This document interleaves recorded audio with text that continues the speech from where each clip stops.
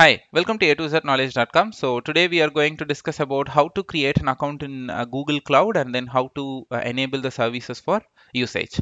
So uh, we have some leading cloud providers like we have AWS and then we have Google Cloud, we have Cubel and then we have Microsoft, IBM's. So so many uh, uh, top leading cloud providers are there. So Google Compute Cloud or Google uh, Cloud Platform, we can call it as either ways, and they are also one of the famous provider. And now we are going to see how to do uh, account creation and then enabling the services to make use of it fine now uh, you you just log in uh, to your google account so gmail and then you open a new tab and go to url um, log on to cloud.google.com and you will get this page and where you can see uh, uh a link called console you just click this console so uh, by default, Google uh, Cloud Platform provides you some offer. So 200 to 300 dollars of usage is free for you. You can activate. So for me, it shows an INR.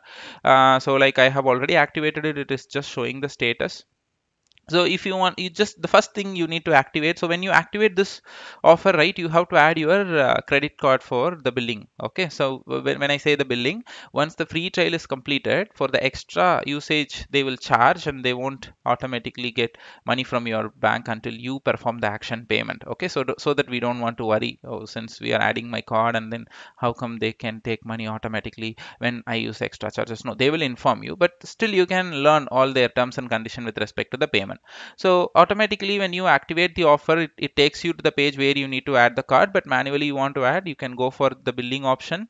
And in the billing you can see a payment method. So where you can if you click this payment method where you can add your card details debit or credit card and then initially they will uh, they will uh, uh, get uh, they will take 1 rupee in INR I'm saying. So uh, how about other currencies? I'm I'm not sure. So they will just take 1 rupee just for testing. Okay fine now uh, after getting into the console um, you have to uh, create a new project.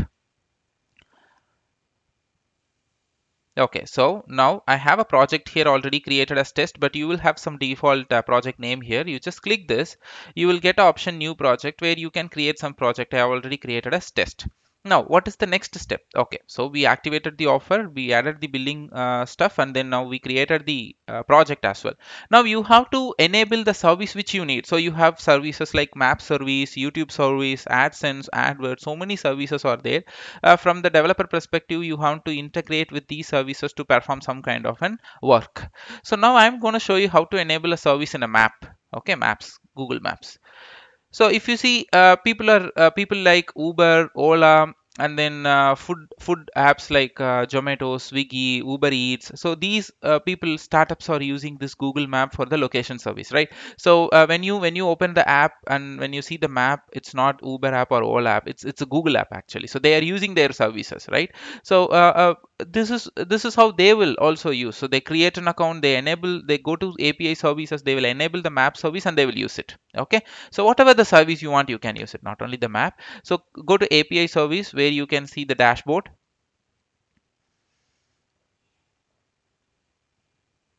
Okay. Oh, sorry. Not the dashboard. Just click that API services. Yes. Okay. The same page. Dashboard only. Fine. So here you can see enable app and services. Yeah. This you have to click and once you click this you will get the search option where you can find all the uh, services which you want to enable so i'm going to just type map so you can see so many map services are there. For example, I, I take maps embedded API. You have to enable this service. Okay, so I can show you uh, one service which I have already enabled it which is called map static API. So which will uh, allow me to write a minimum amount of code to interact with the map and then get the uh, map informations about the locations. Okay, so now I can show you this. So I have enabled this for a use case what I have done. So I have written a Python code to uh, get all the location image of the map as a file and get stored in my local disk. Okay. So for that reason, I've just enabled it. So once you enable that, you will see a link called manage. You just click this so it will take you to the map uh, api the, the respective services dashboard the page. Here the very important the next step you have enabled it. Now the next step is uh, you have you can see something called credentials. Click this so this credential part is very important. So in if you click this credential you will see create an api so you have to create you will get a button or link something like that to create an api so this api key is very very important to connect with your uh, google cloud from your application. It's like act as a password okay kind of kind of not exactly kind of. So for example i can show you a code which i used to uh, uh, which i have written for connecting with the map services.